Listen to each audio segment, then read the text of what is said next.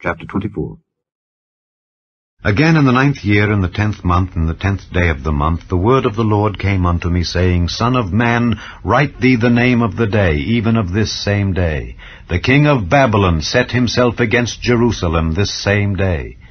And utter a parable unto the rebellious house, and say unto them, Thus saith the Lord God, Set on a pot, set it on, and also pour water into it, Gather the pieces thereof into it, even every good piece, the thigh and the shoulder, fill it with the choice bones. Take the choice of the flock, and burn also the bones under it, and make it boil well, and let them seethe the bones of it therein. Wherefore thus saith the Lord God, Woe to the bloody city, to the pot whose scum is therein, and whose scum is not gone out of it.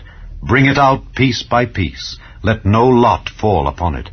For her blood is in the midst of her. She set it upon the top of a rock. She poured it not upon the ground to cover it with dust, that it might cause fury to come up to take vengeance. I have set her blood upon the top of a rock, that it should not be covered. Therefore thus saith the Lord God, Woe to the bloody city! I will even make the pile for fire great.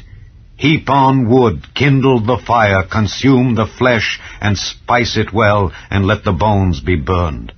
Then set it empty upon the coals thereof, that the brass of it may be hot and may burn, and that the filthiness of it may be molten in it, that the scum of it may be consumed.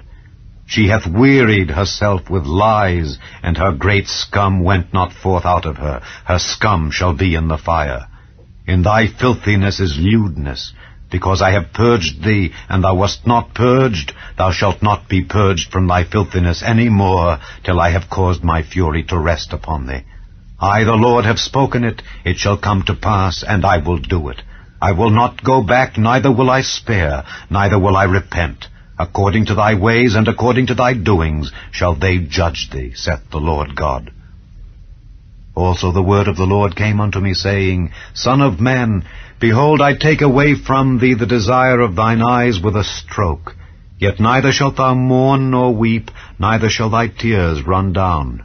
Forbear to cry, make no mourning for the dead. Bind the tire of thine head upon thee, and put on thy shoes upon thy feet, and cover not thy lips, and eat not the bread of men. So I spake unto the people in the morning, and at even my wife died. And I did in the morning as I was commanded. And the people said unto me, Wilt thou not tell us what these things are to us, that thou doest so? Then I answered them, The word of the Lord came unto me, saying, Speak unto the house of Israel, Thus saith the Lord God, Behold, I will profane my sanctuary, the excellency of your strength, the desire of your eyes, and that which your soul pitieth, and your sons and your daughters whom ye have left shall fall by the sword. And ye shall do as I have done. Ye shall not cover your lips, nor eat the bread of men. And your tires shall be upon your heads, and your shoes upon your feet. Ye shall not mourn nor weep, but ye shall pine away for your iniquities, and mourn one toward another.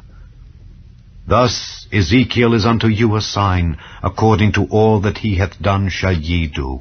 And when this cometh, ye shall know that I am the Lord God.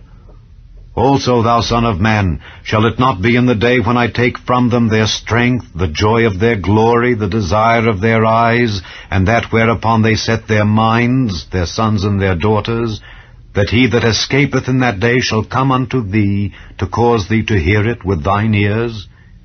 In that day shall thy mouth be opened to him which is escaped, and thou shalt speak and be no more dumb and thou shalt be a sign unto them, and they shall know that I am the Lord.